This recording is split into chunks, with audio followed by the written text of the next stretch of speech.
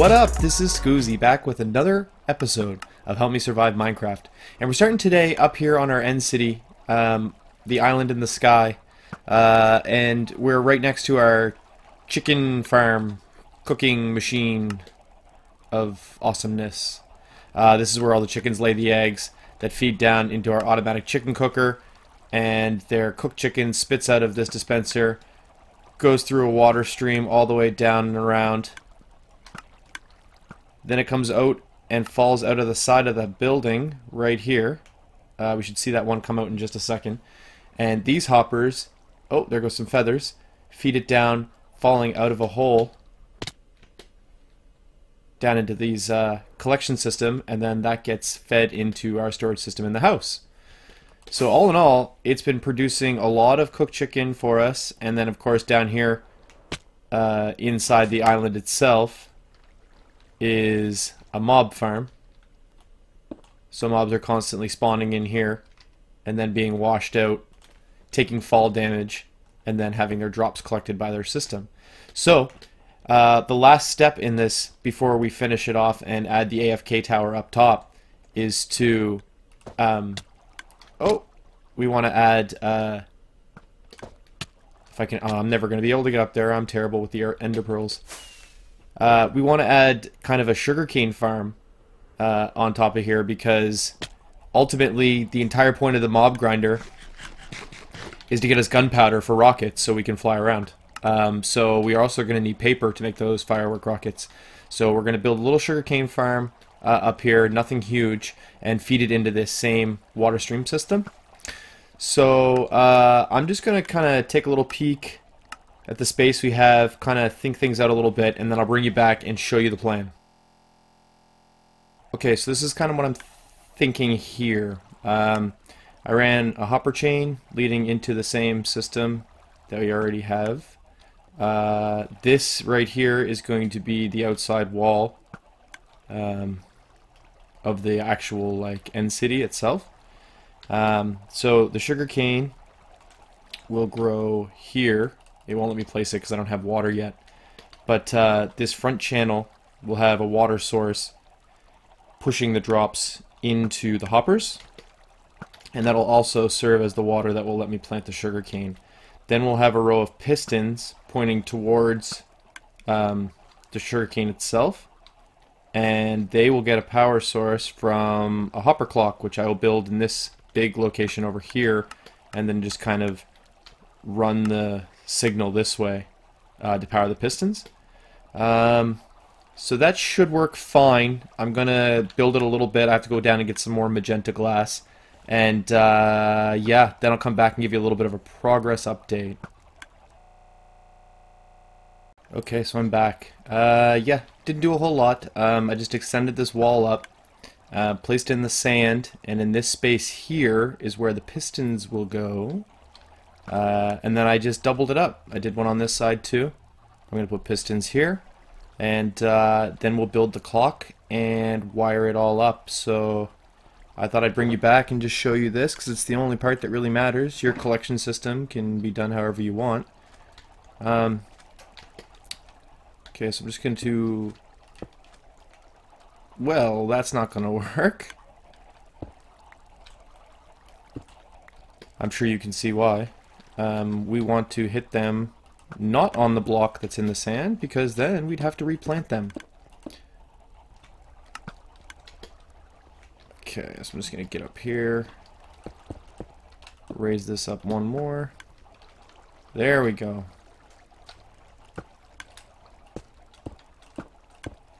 Like that. Pistons over here. Like that. Um, now, for the redstone, um, we can... I guess we'll just... This corner we can probably take down. this efficiency 5 pick is dangerous up here. Um, okay, so we'll build our clock down here. Um, so we're going to need two sticky pistons, two comparators. We will need some redstone dust. Uh, we have hoppers, and we'll need a redstone block for the output. Uh, okay, so we'll do it like right here. So your first step uh, in the Etho hopper clock is to place a hopper and then shift click and place a hopper into that first hopper. Destroy the first hopper and then shift click it back into the second hopper. So now these two ping pong items back and forth. And then out of... Oh, this is a little too close. I'm going to have to move this one over. Is there enough room for this? Hmm. There may not be enough room for this right here. Do have more space anywhere? I think on here I have a little bit more room. Yeah, let's build it on this side. Poor planning on my part, this whole this whole build here. Um, okay. Endstone bricks. Throw those down. Okay. Actually, I don't know if... Should have enough room over here. Fingers crossed.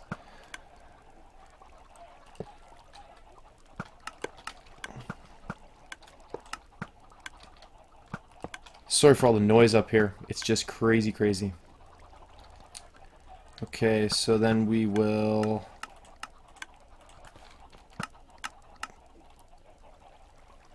Take a comparator output.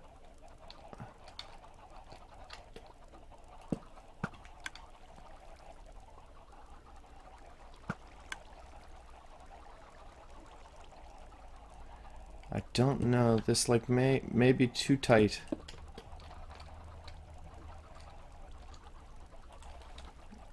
Uh, right.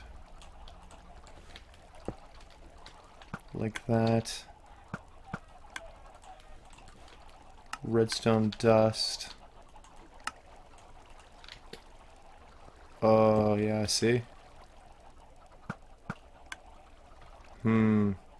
Okay, I'm gonna have to rethink this, and uh, I'll come back.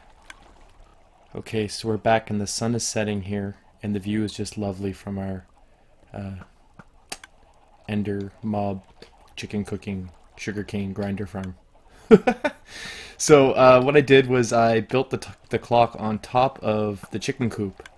Uh, I had some space up here. It's perfect. It fits lovely. Uh, the wall will come up here and totally block it in. It doesn't extend too far this way either, or this way. It's incredible. Um, so basically, uh, from what I've gathered, I watched a video by Impulse SV, and the timing for this, you want uh, items that'll stack up to 64, and you want a stack plus 5, and that seems to be the amount you need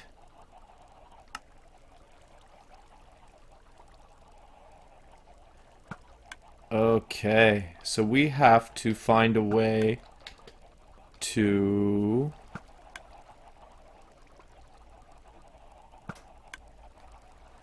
I bet you if we put like an observer here, this wouldn't even need to be a redstone block. And we would get one pulse.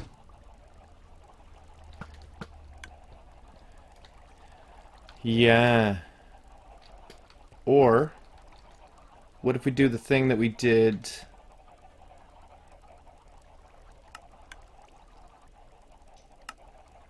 No, that's not going to work. Yeah, we're definitely going to have to make this into like um, like a monostable circuit. Um, I think what I can do quite easily is if I just get down here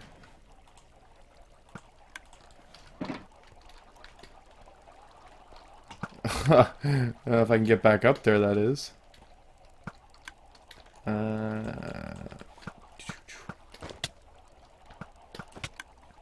yeah, so if I were to do this and then place a block here with a torch on either side, these torches should power the pistons.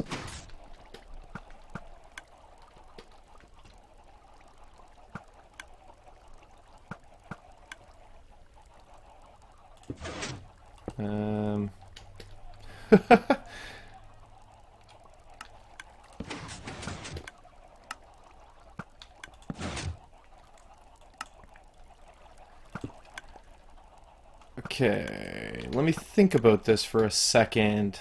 Derping with redstone. Um.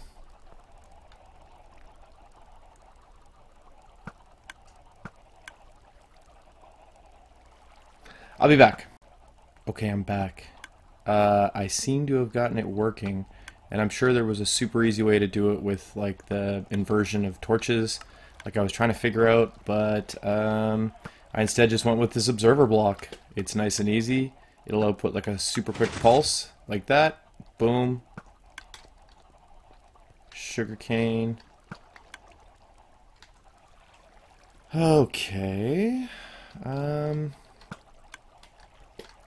I suppose it would be good if that didn't fall out of the end, but I don't know what I can do about that necessarily. Let's see if putting some glass here will help.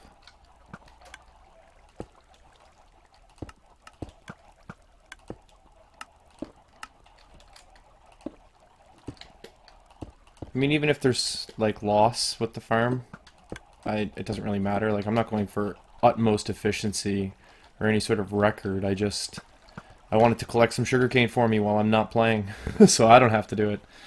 Um, yeah, let's go down and check out to see if any has made it into the system yet. Oof, my Elytra did not want to activate there. Good thing I got the feather falling for boots. Uh, we're probably gonna have a bunch of junk in here. Yeah, look. Oh, look at that. Five sugar cane already. Uh, that's pretty great. Um, considering it's been running like not even two minutes.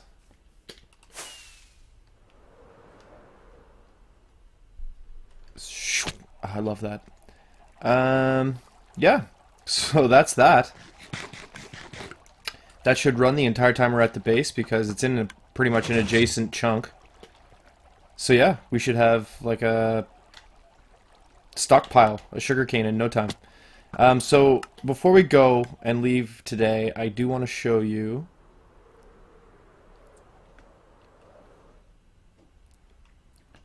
the progress over here on our village. So this is about this is the same day as the last time that I restocked the villagers. And we have got pretty good numbers already. I estimate we are back up to around 25 villagers. Maybe more. Um, and I don't think we've reached the maximum yet. Every time I've come in here today, I've found a baby somewhere. Uh, no, maybe not. But I really don't think we're at max. Um, and although we have a farmer, everyone keeps walking on the crops and just destroying it.